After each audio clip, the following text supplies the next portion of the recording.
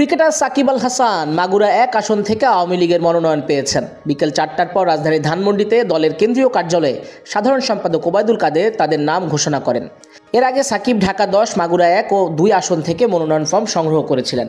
সর্বশেষ একাদশ জাতীয় সংসদ নির্বাচনেও আওয়ামী লীগের মনোনয়ন চেয়েছিলেন সাকিব আল হাসান। তবে সেই সময় প্রধানমন্ত্রী তাকে ক্রিকেটে মনোযোগী হওয়ার পরামর্শ দেন। সেই সময় সাকিব মনোনয়ন না পেলেও মাশরাফি বিন মর্তুজা নড়াইল দুই আসন থেকে মনোনয়ন পেয়েছিলেন।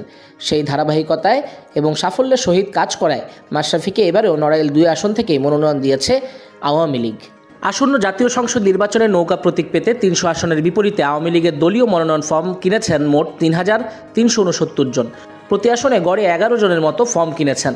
নির্বাচন কমিশন ঘোষিত তফসিল অনুযায়ী আগামী সাত জানুয়ারি দ্বাদশ জাতীয় সংসদ নির্বাচন অনুষ্ঠিত হবে। এই নির্বাচনে অংশগ্রহণকারী প্রার্থীদের নির্বাচন কমিশনে মনোনয়নপত্র জমা দেওয়ার শেষ তারিখ ছিল আগামী তিরিশ নভেম্বর। গত আঠারো নভেম্বর দ্বাদশ জাতীয় সংসদ নির্বাচনে অংশ নিতে তিনটি আসনের জন্য আওয়ামী লীগের মনোনয়ন ফর্ম সংগ্রহ করেছিলেন সাকিব আল হাসান। আসনগুলো হলো ঢাকা দশ, মাগুরা এক ও দুই। তবে শেষমেশ মাগুরা একেই, তাকে দায়িত্ব দেওয়া হলো। সাকিব আল হাসানের কারণে প্রধানমন্ত্রী এপিএস সাইফুজ্জামান শিখর এবার আর মাগুরা এক থেকে নির্বাচন করতে পারলেন না। তবে মনোনয়ন না পেলেও সাকিবের পক্ষেই হয়তো কাজ করবেন, আওয়ামী লীগ থেকে আছে সেই নির্দেশনাই।